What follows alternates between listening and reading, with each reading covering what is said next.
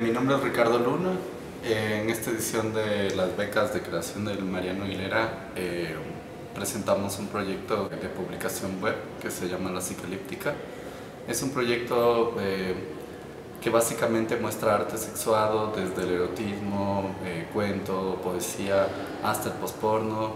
Hemos mostrado ya 72 artistas de, de toda la región, de los cuales por lo menos unos 15 son ecuatorianos y se trata de una publicación virtual eh, que ya tiene siete números. Los últimos tres números ganaron el premio Mariano Aguilera. Tocamos temas de eh, representación de la sexualidad en la cultura, desde varios lenguajes, lenguajes alternativos. Eh, estudiamos, por ejemplo, la pornografía como un insumo eh, cultural y, eh, y, lo deconstruimos. La industria pornográfica se había apoderado de la imagen sexual para eh, imposibilitando que podamos construir obras de arte con imagen sexual.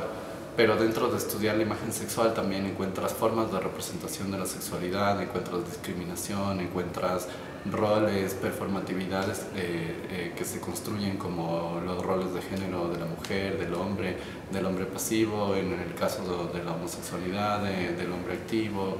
Eh, entonces hemos creado este espacio donde la gente puede crear sin censura, utilizando imagen sexual o textos sobre sexualidad, este, desde un punto de vista del cuerpo, del sujeto como protagonista de su sexualidad.